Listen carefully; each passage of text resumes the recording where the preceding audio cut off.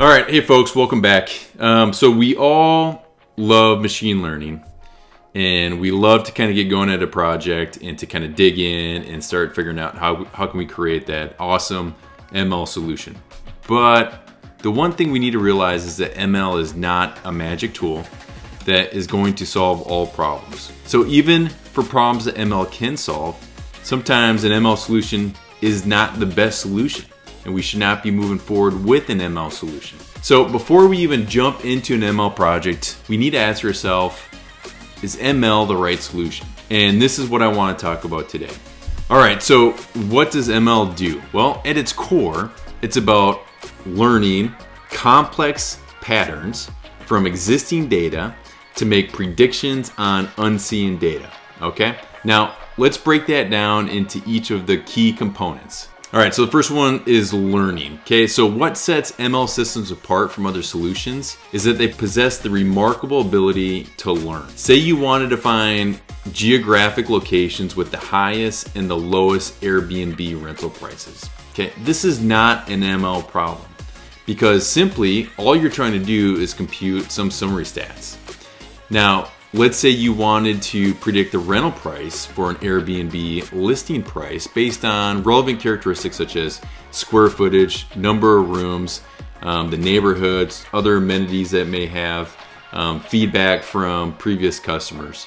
As long as you have this historical data, with the relevant characteristics that you want to use. ML can actually learn the relationship between those inputs and the outputs. And once learned, this ML system should be able to predict the price of new listings given its characteristics. Another example, say you wanted to segment customers based off of where they live geographic. This may be state, by county, or, or, or whatnot.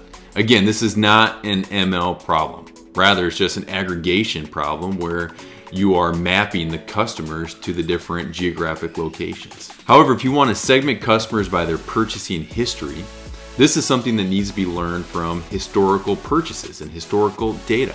Once learned, this ML system can be used to predict the segment that a new customer likely falls into based off of their initial purchase. All right, the second characteristic is complex patterns. So ML proves valuable when dealing with very complex, intricate type of patterns. So not all problems involve patterns. For example, nobody would invest money into building an ML system to predict the next outcome of a fair diet because there's no pattern to learn there. And again, if we look back to the Airbnb problem we just talked about, if you wanted to sort listings in the states that they're located in or maybe the zip codes, you again, you don't need an ML system to do this since the pattern is very simple. It's basically mapping each state or each zip code to the Airbnb listings. However, the relationship between a rental price and all the characteristics of a home is a far more complex pattern that needs to be learned. So this would be very challenging to manually specify from, from individuals. So ML is a great solution for this kind of a problem. So instead of telling your system how to calculate the price from a list of characteristics, we can allow the algorithm to identify these complex patterns and to use that information to predict the prices. Now realize that what is complex is quite different between humans and machines. So many tasks that are hard for humans are quite easy for machines. For example, raising a number to the power of 10. This is where traditional software excels at performing because there's no patterns to be learned here. This is simply just computational demand. On the other hand, many tasks that are easy for humans can be quite hard for machines. For example, decide if there's a cat in the picture. This is an obvious task to humans, but not obvious to machines. And again, this is where an algorithmic solution, such as machine learning, can really shine to extract the patterns that we need to identify a certain item in an image. Next is we have to have existing data. Because ML learns from data, there must be data from it to learn from. All ML solutions are built on historical data one way or another. Even zero-shot learning solutions are built on data. Now, albeit it's data that is learned from a different context and we use it in a new context and that's why they call it the zero-shot learning. However, the original model developed was built on data. So historical data always needs to be present in order to build an ML solution. And typically, the more data that we have, the better that the model will perform. All right, the next part is making predictions. So for the most part, ML models that are in production are usually for the purpose of making predictions. So they solve problems that require predictive answers. And as predictive models are becoming more effective, more and more problems are being reframed as predictive problems. What's more, ML can be especially appealing when you can benefit from a large quantity of what's called cheap approximate predictions. And we'll hit on this idea a little bit more in a couple of minutes. All right, and lastly, we're making predictions on unseen data. So the patterns that your model learns from existing data are only useful if unseen data also share these patterns, okay? So a model to predict what you're gonna buy on Amazon that's built off of what you purchased in 2015 likely is not gonna be all that great to make the predictions of what you're trying to buy today, okay? So in technical terms, it means that the unseen data that we're making predictions on must have a similar distribution as the data that your model was trained on. So you might ask, if data is unseen, how do we know what distribution it comes from? Well, you know what? We don't, but we can make assumptions. For example, we can assume that the behavior a customer has tomorrow is gonna be the same that that customer had today. And we need to hope that our assumptions hold. Now, there are many ways within our ML system that we can build in ways to kind of monitor changes in the distribution of our unseen or new data compared to the training data. But for now, just realize that the objective is that our unseen data is going to align to the same distribution that the original data that our model is trained on came from.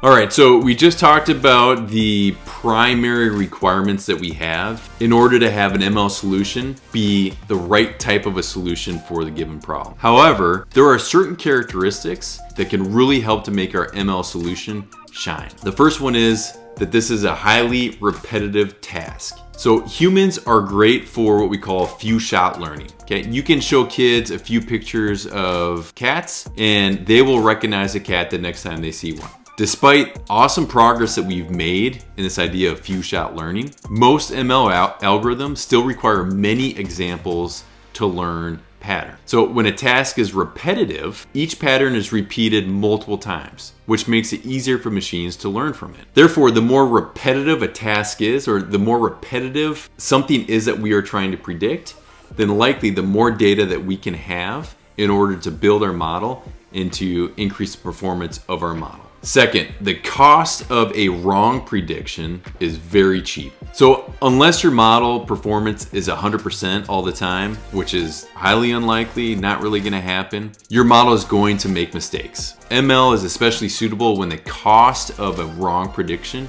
is very low. For example, one of the biggest use cases of ML today is in recommendation system. This is because, well, one, the tasks that we're trying to recommend for are usually highly repetitive. Shopping for stuff on Amazon, looking for a movie on Netflix, right? These are all tasks that are just highly repetitive. And you know what? If we get the prediction wrong, it's not a backbreaker. There's not a ton of cost behind a wrong recommendation. Obviously, we want the best recommendation possible, but this is not a life or death matter. As the cost of a wrong prediction increases, then we need to question the appropriateness of ML more and more. If an ML prediction could cause catastrophic consequences, then the benefits of the right predictions must significantly outweigh the potential of that catastrophic misprediction. A great example is developing self-driving cars right? This is super challenging.